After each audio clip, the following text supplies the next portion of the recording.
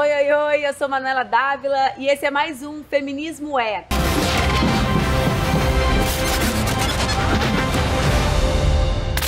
Hoje eu vou conversar com a Isa. A Isa é jornalista, tem 29 anos, é do Piauí e assim como eu e várias mulheres, também já foi vítima de fake news.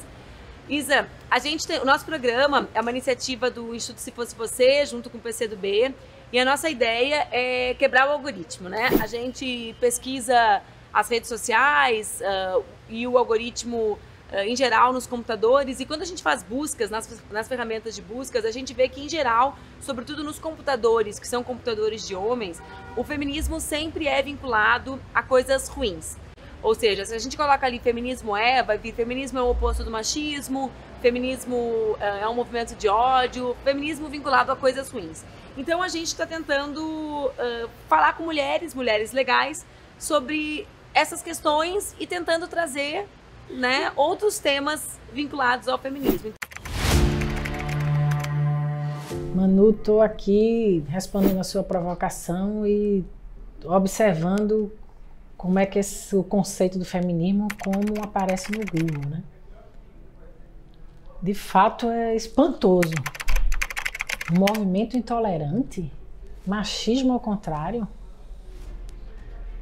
É, na verdade, é, a luta de ideias é sempre um desafio muito grande, né? De, de alguns conceitos que para nós que militamos há tantos anos, né? Eu entrei no PCdoB ainda quando eu era estudante universitária é, e, e não é fácil é, enfrentar conceitos que foram sedimentados, difundidos é, por, por gerações e gerações. Né? Então isso acaba sendo um conceito arraigado no imaginário popular e o esforço que a gente faz é exatamente esclarecer, né? fazer o debate de ideias do, do fato como ele, da, na, de como ele é, né? do conceito que ele é real e não o que forças políticas, sociais procuraram passar e procuram ainda passar, né? como sendo uma afirmação dos seus conceitos, das suas ideias sobre a vida, sobre a... Então, ao contrário do feminismo ser um movimento intolerante, ele é um movimento que reage à intolerância. Ele é um contraponto à intolerância. Porque o machismo, sim, é que é algo intolerante e que causa a desigualdade, os transtornos, o mal-estar, a infelicidade das pessoas, tanto para os homens como para as mulheres. É, há muitas explicações para o surgimento do, do machismo. Explicações de base econômica, né?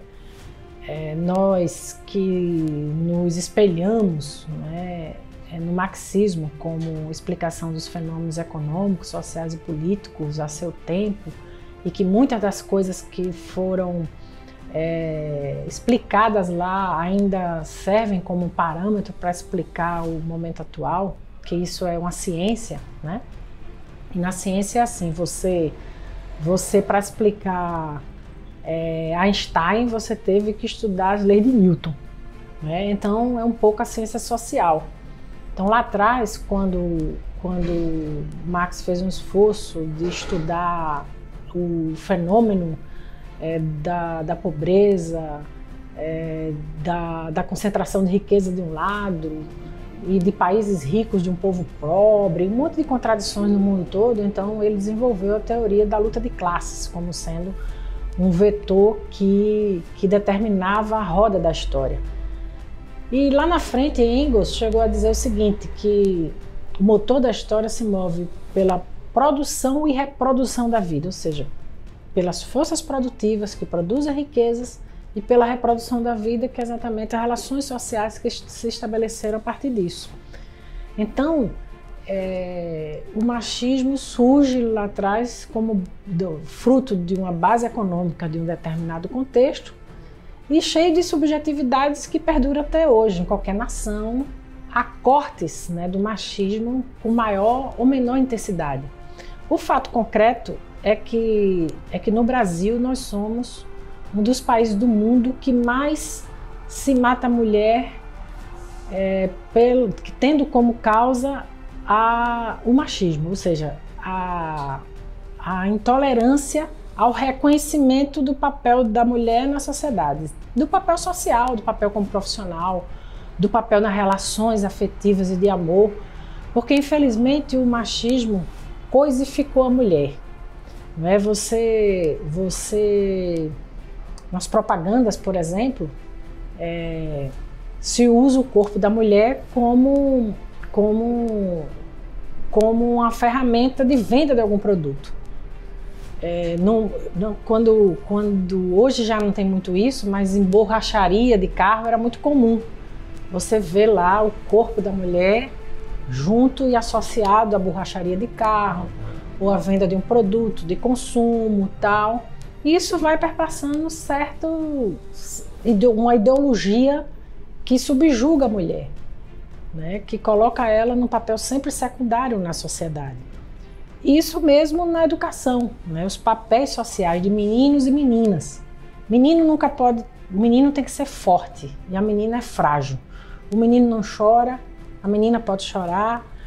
É, o menino tem certas brincadeiras que são que desde criança são adaptadas às meninas e outros e acabam felicitando tanto homem contra a mulher, porque homem pode chorar, homem pode sofrer por amor e deve, né? Se assim, se assim acontecer com ele.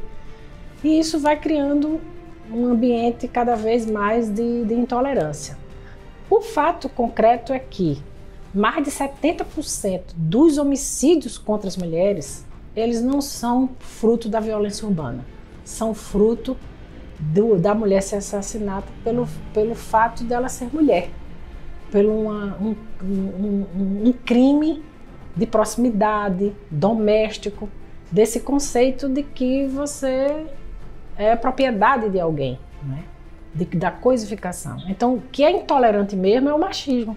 As mulheres querem, é, e o feminismo querem contestar o machismo com seus conceitos que foram arraigados historicamente, culturalmente, de diversas formas. Então, o que nós queremos é as feministas, o movimento feminista, o que sempre quis foi ter direitos, ter direito de votar, de escolher o rumo do país.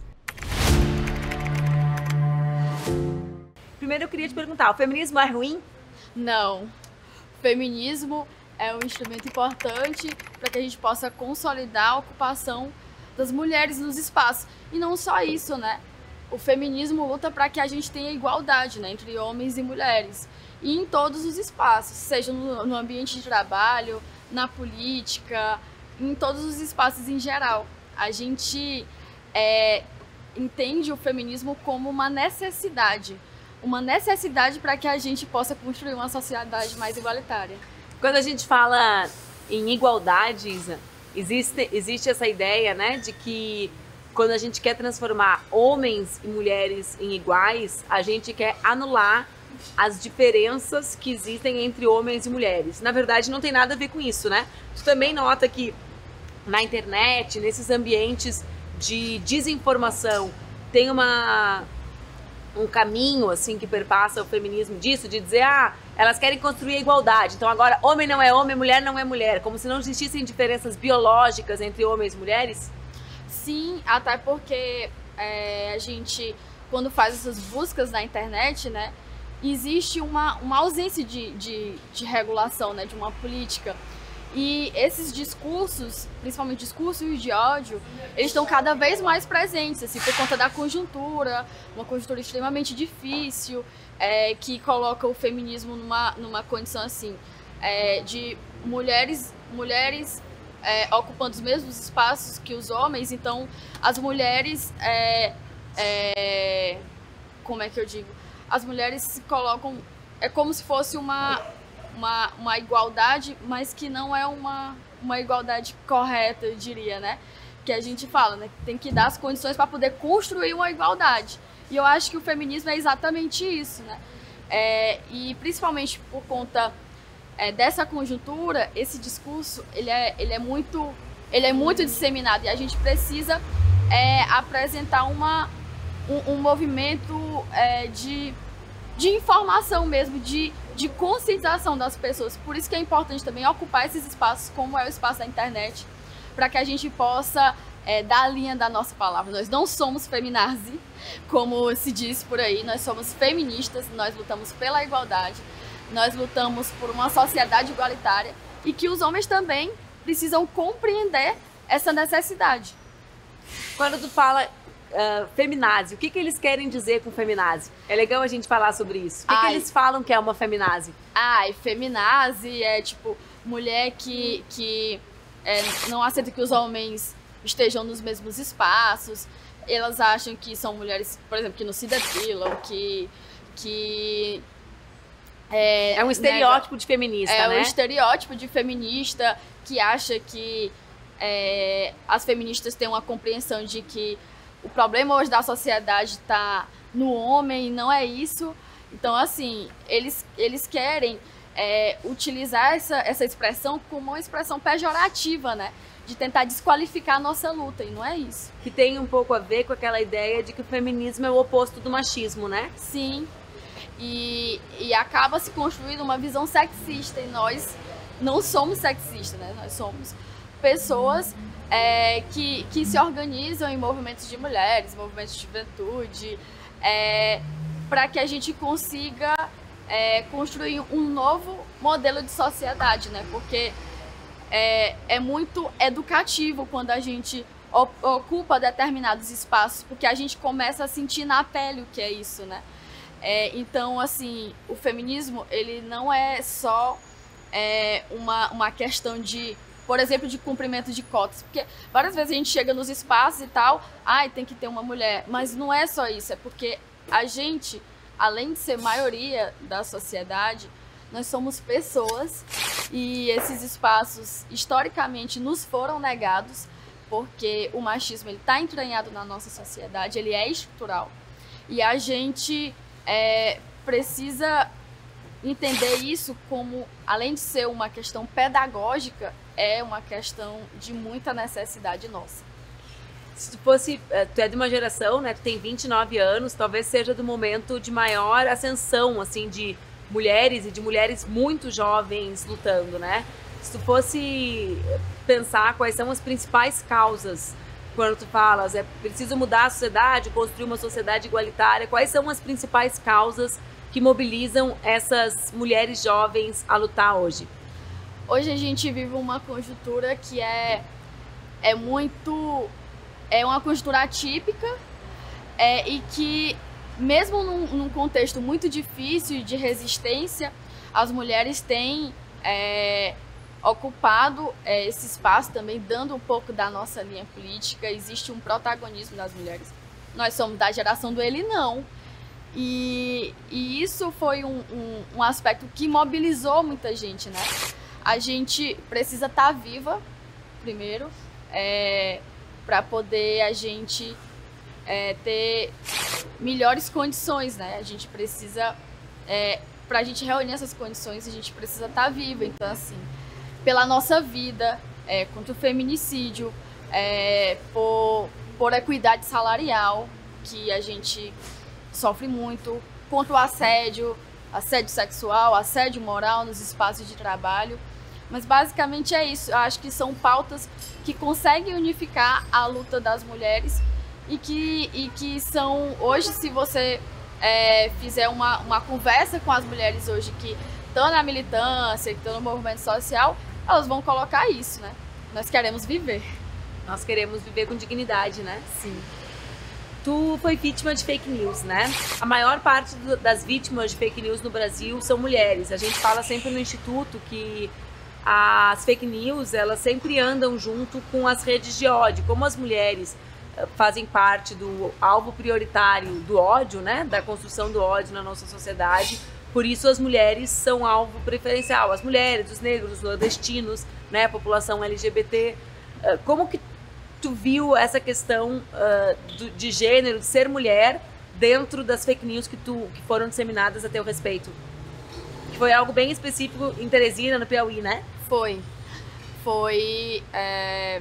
E aí movimentou muito o cenário político lá, é, que inclusive colocava como um ponto. A minha saída do PCdoB, então, foi, foi um negócio muito é, estranho e eu ficava pensando, na verdade, eu sempre penso, né? É, em tudo que, a, que acontece com as nossas mulheres, assim, e faço um comparativo do que acontece com os homens. Você vê que o impacto ele é totalmente diferente com relação. Como a... qualquer coisa que fala a nosso respeito tem credibilidade, né? É. E aí, assim, a gente, a gente sente o quanto, o quanto o impacto das fake news é, eles afetam diretamente na nossa vida.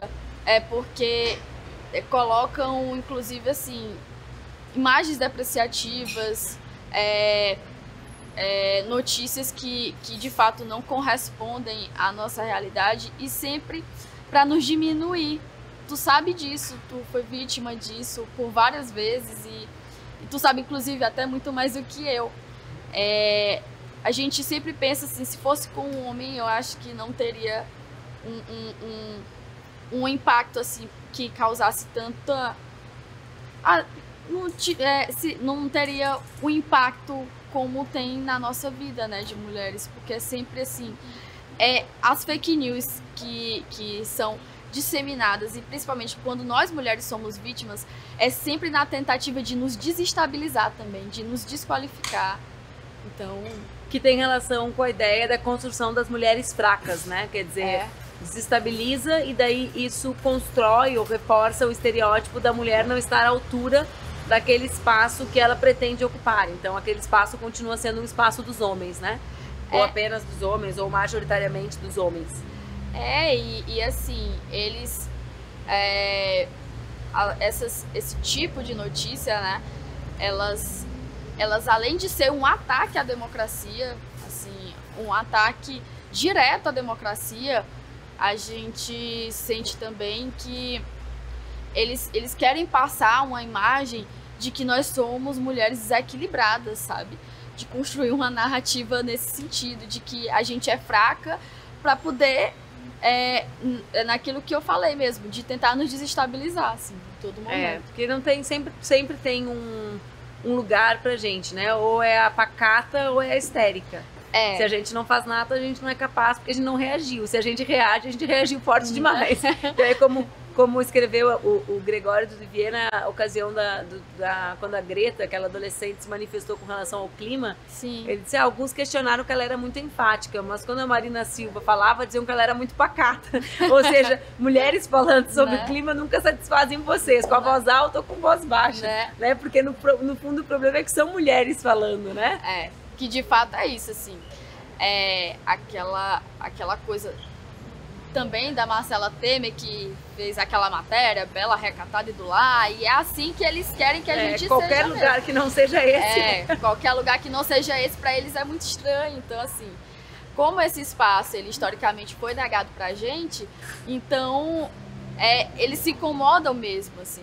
Não é, não é fácil você chegar lá e assumir um, um, um posto de, de poder, um posto de destaque e tal, isso não é fácil. Então, assim, é, se não for alguma coisa fora disso, eles já ficam né, um pouco tensos. E qual é o principal desafio de ser feminista nos tempos ou no, no tempo das redes de ódio, Isa? Eu acho que é a gente hoje a gente se manter firme, porque não é fácil ser mulher, não é fácil ser mulher e militante. É, não é fácil ser mulher, ser militante e dar uma linha é, de esquerda como a gente tem. A gente tem um, um, um pensamento muito claro, né? É, de, de construir uma sociedade melhor e de, de lutar pela consolidação dos direitos, é, de lutar por melhores condições de vida para a nossa sociedade. Então, assim, é, não é fácil em todos os aspectos. Primeiro, porque não é fácil ser mulher. É, e e não, é, não é fácil é, ser quem a gente é hoje. É, de a gente não negociar aquilo que a gente é. Eu sempre, eu sempre coloco isso para mim. Eu não negocio nunca o que eu sou. E isso é uma, é uma opção de vida que eu tive há muito tempo atrás, que eu fiz há muito tempo atrás. é, de, de lutar por melhores, por melhores condições de vida para o meu povo. Sou do Nordeste e a gente é, carrega a resistência com a gente. É, ser mulher e nordestina também não é, não é fácil. E a gente. Ser mulher do Piauí. Do Piauí. E é, eu acho que é isso, assim. O grande desafio é a gente conseguir ser tudo que a gente é sem medo. Acho que para mim 2018 foi um grande desafio e eu acho que a gente não pode mais retroceder. Essa luta é nossa. Ela ela cada vez mais ela amplia e a gente não pode mais retroceder. A Isa vive no Piauí, né? Então a gente olha é, é, é, são os espaços de esperança no Brasil das trevas, né? Então, eu quero agradecer muito, Isa. A Isa, ela fala há muito tempo, ela tem 29, mas ela tem essa carinha de 15. Quando ela falou, eu luto há muito tempo, eu pensei, como é que tem 29 com essa carinha? Com essa carinha? Eu tenho dois presentes para dar para Isa. Isa é jornalista como eu. Vai cair do céu? Não, não vai cair do céu. Cai do céu. Ó, um é um livro novo. Ah! que lindo, eu tô disparando no Piauí pra tu lançar. Tá esperando no Piauí, pelo amor de Deus. E outra é a camiseta. Ai. É a camiseta com o nome do Instituto para justamente a nossa provocação para quem compartilha fake news, né? Sim. E se fosse com você, se fosse contigo, se tu ia achar graça, se ia achar, se ia dar risada, se ia compartilhar mentiras, absurdos sobre a vida dos outros, sobre a morte dos outros, sobre o luto dos outros. É o nosso grito. Que bom, que bom contar contigo, Isa. Que bom. Boa Obrigada luta. por tudo. É muito bom ser feminista com teu lado. Ai, eu que agradeço. O nosso programa Feminismo é é uma realização do Instituto E se fosse você em parceria com o PCdoB, com o apoio da UJS, do Armazém do Campo e da Mídia Ninja. Muito obrigada. Se tu gostou, compartilha nas tuas redes. Se tu gostou, aperta o sininho. Vocês estão rindo, né?